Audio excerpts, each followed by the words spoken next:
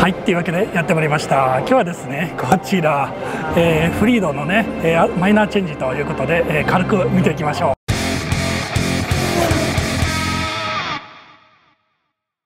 えー、こちらクロスターですね。クロススターって言ってしまいそう。プラスの方ですね、えー、マイナーチェンジしたということでエクステリアがだいぶ変わってますよね、えー、まあ、アウトドアキャンプとかね。えー、行くお父ちゃんにおすすめと。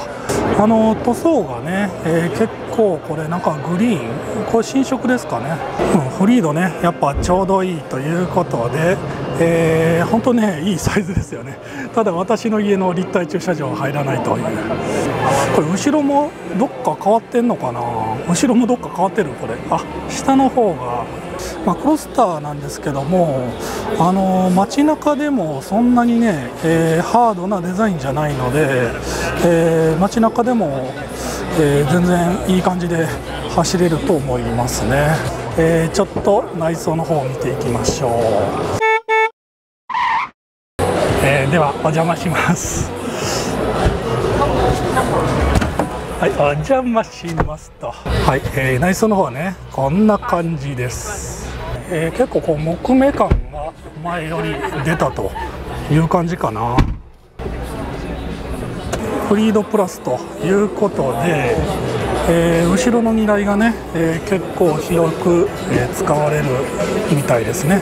あこういうところも一体化してるんやなデザインが。はい。こうね荷台が特徴的ですよね、えー、ここがね、えちょうど棚が2段になります。こうこうねここにこう棚が来るんですよね。こんな感じで。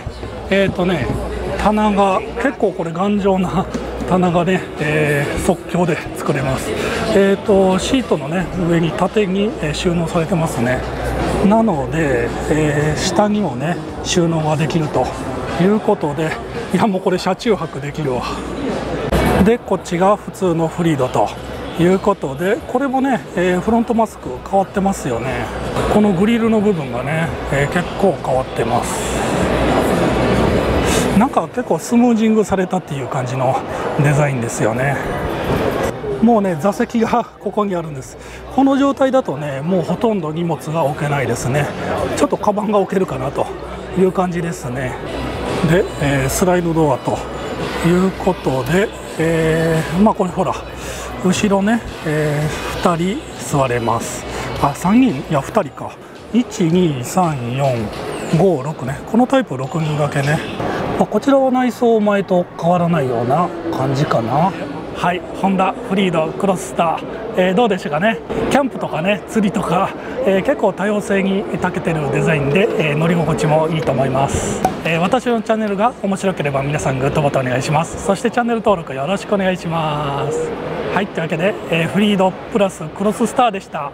じゃあね。バイ。シュ